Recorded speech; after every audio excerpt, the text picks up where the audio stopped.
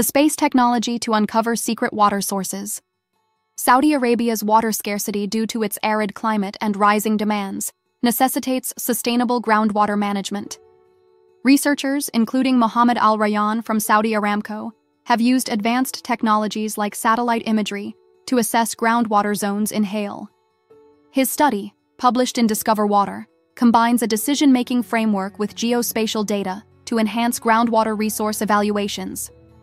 Al Rayyan emphasizes these methodologies' role in improving assessment accuracy and ensuring efficient water management, crucial for the region's water security.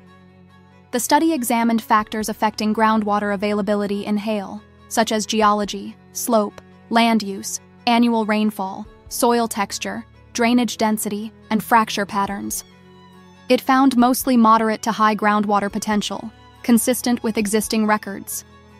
The high validation accuracy affirms the study's robustness, offering a dependable framework for policymakers and water managers to devise effective conservation and extraction strategies, as highlighted by Al Rayyan. The study identifies recharge zones in Hail, where rainwater replenishes underground reservoirs, crucial for sustainable groundwater extraction.